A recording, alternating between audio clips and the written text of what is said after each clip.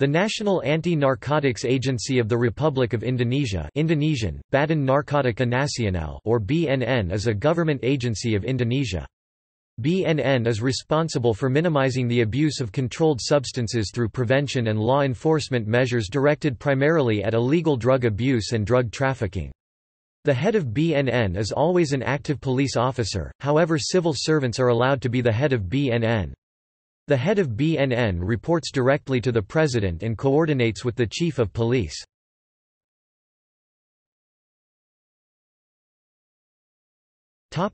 Organizational structure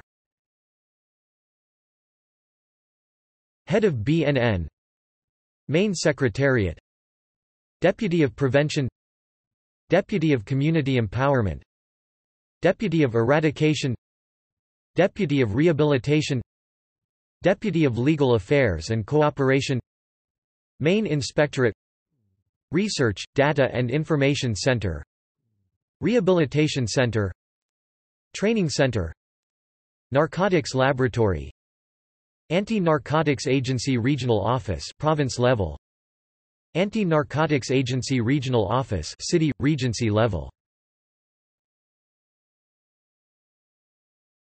Topic Weapons BNN officers are trained in the use of firearms. CZ-P07 standard issue sidearm Saiga 12 SEXP01 standard issue shotgun